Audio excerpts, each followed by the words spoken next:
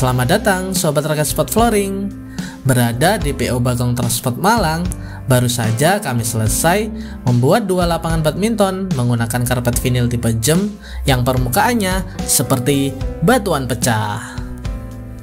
Lapangan ini dilengkapi dengan tiang net portable standar BWF, memiliki dua roda sehingga sangat fleksibel dan yang terpenting aman sekali untuk karpet vinil badminton.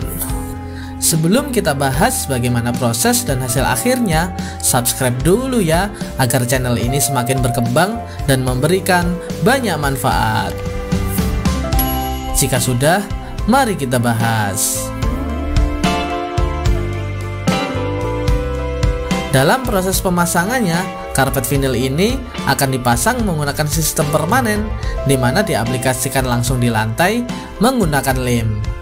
Setelah itu, dilakukan proses welding untuk menjaga daya ikat yang kuat antar sambungan karpet vinil.